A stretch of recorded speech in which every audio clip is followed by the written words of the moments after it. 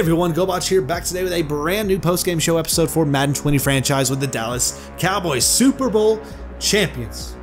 Dallas Cowboys of Super Bowl 54 get it done 27 to 13 against the New England Patriots as we get a revenge win, even though Brady didn't get to play but a quarter and a half. So the Cowboys outgained them 335 to 290. We outrushed them 180 to 138 and outpassed them 155 to 152. Both teams had 19 first downs. We had two picks or two turnovers. They had none.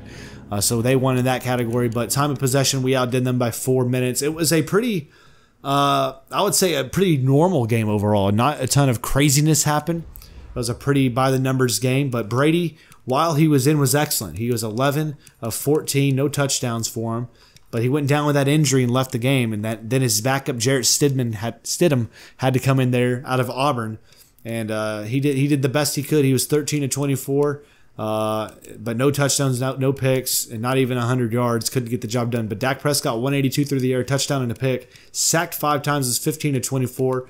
Uh, did a job enough to get the get the job done with the Cowboy win. But Zeke Elliott 24 carries, 118 yards, no touchdowns. Sony Michel's 13 carries, 75 yards and a touchdown. And James White, before he left with an injury, was 7 and 55. So they did a good job running the football. But Pollard, the MVP of the game, nine carries, 42 yards, and two touchdowns for Dallas.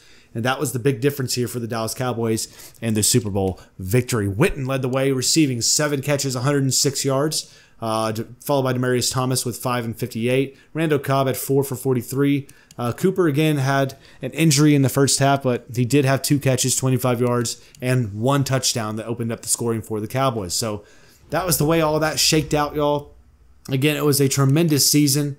Um, but now, y'all, we're going to get ready for off-season period here on the channel. So we're not going to do the off-season in this video right here and right now. We'll bring an off-season video later, uh, probably tomorrow, maybe Sunday. We'll see. I'm not quite sure just yet, but stay tuned for that coming up very, very soon. So we got some upgrades here. Vander Esch, uh, we're gonna get his pass coverage a little bit better. 90 overall now, man. Love seeing that.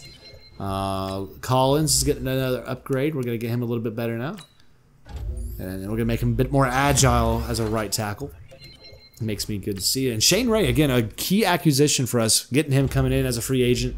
He's coming, he's done a great job for us, and uh, he gets a little bit of an upgrade as well. So here we are, y'all. We are in player negotiations with our team. Again, we've pretty much done this all the way we wanted to. Shane Ray is the guy that I'm considering to bring back in, um, but not completely sure I want to personally, because um, he's wanting. Here, here's the issue: we have not a lot of cap room. Uh, right now, we have $171,000 remaining if we do sign Shane Ray.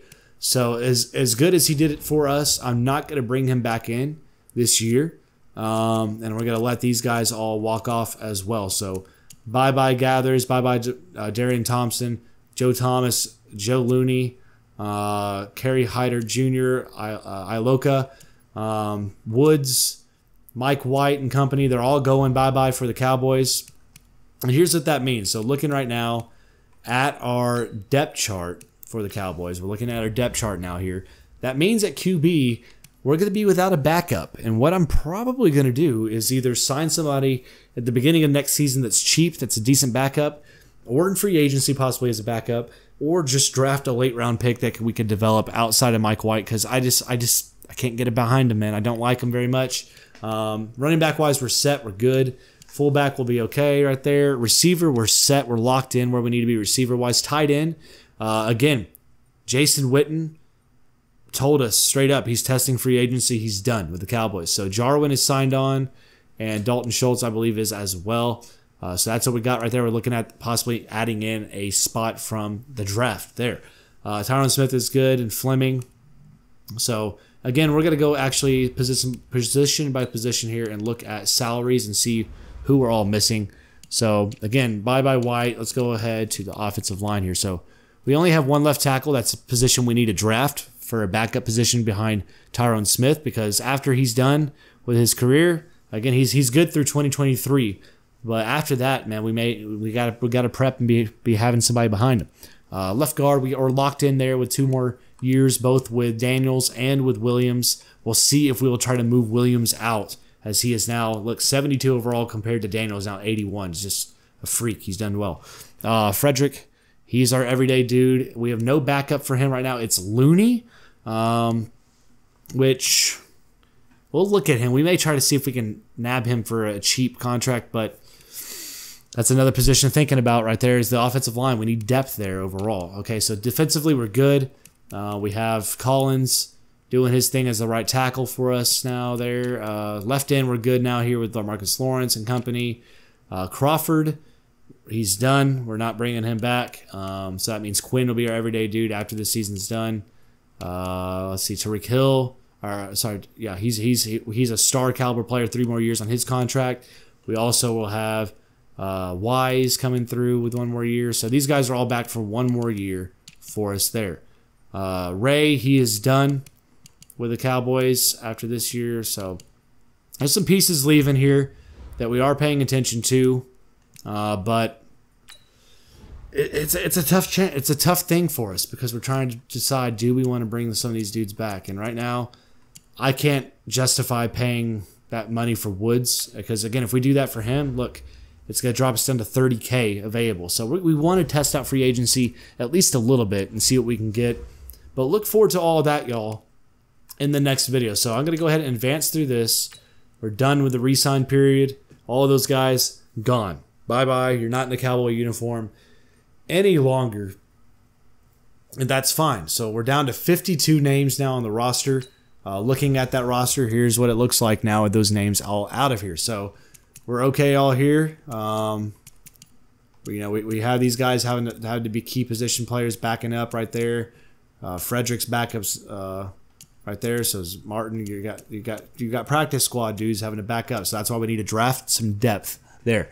Uh, defensively, we're good here. We got Crawford, we have Quinn leading the way there for us, and then we got Hill followed by Covington, Collins to be starting there, followed by Wise, uh, then Demarcus Lawrence, of course, will be right there. Brown still doing his thing there for the Cowboys. Awuzie, uh, Lewis, and of course Byron Jones when he gets back from injury will be our everyday dude.